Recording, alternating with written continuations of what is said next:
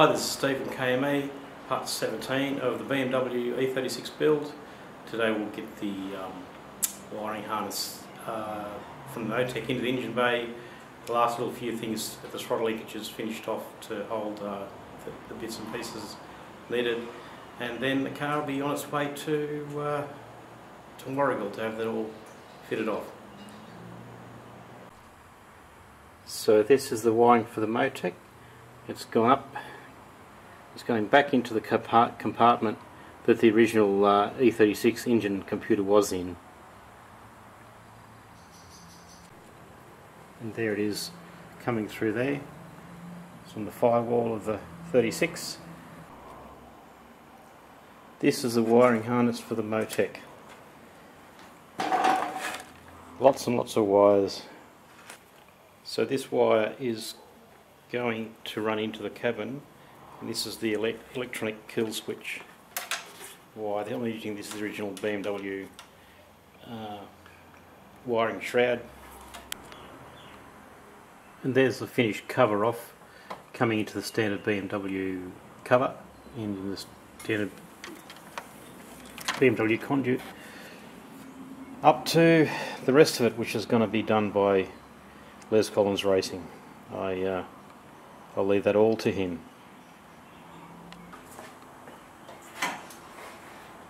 Testing the electronic relay just fitted. That looks good.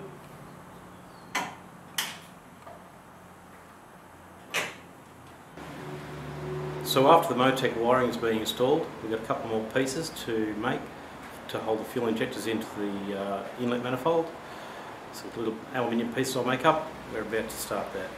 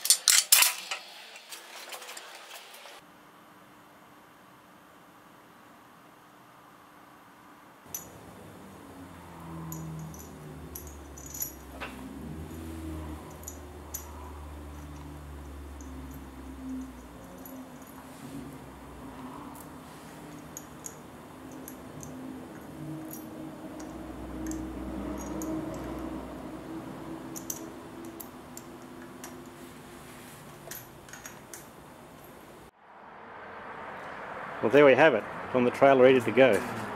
First time in three years that they've been out of the shed.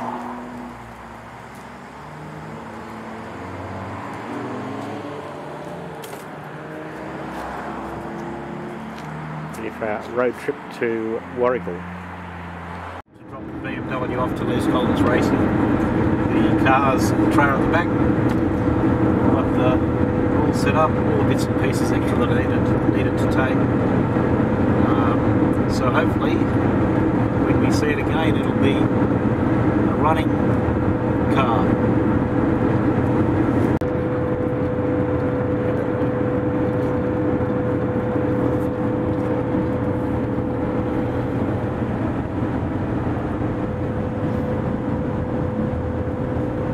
Well, here we are at Les Collins Racing.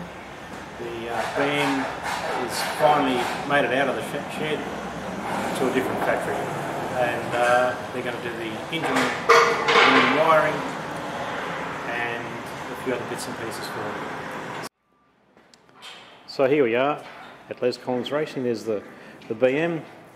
This is over to where they do the wiring harness and so on. This is Steve, another Steve, doing the. Uh, another little project underway there, and the uh, you got obviously all these wiring across the top there, and very well set up so it's uh, ready to do whatever's required.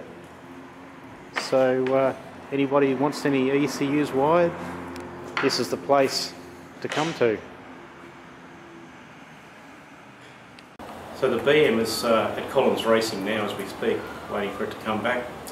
Um, when I was there, I would have liked to have shown you more uh, around the place, but there's a lot of customers' cars there, and uh, without getting permission off every person to show their car, you really can't do that. And I'd rather not uh, show people's cars, other people's cars, without them knowing about it. Uh, I think it's just a courtesy we should have. Um, but uh, the part we're in is just the one part where the electrical happens. There's uh, an engine building, engine and gearbox building section to it as well, and uh, yeah, very very clever guy, Les. And uh, so the car's there, waiting for get coming back.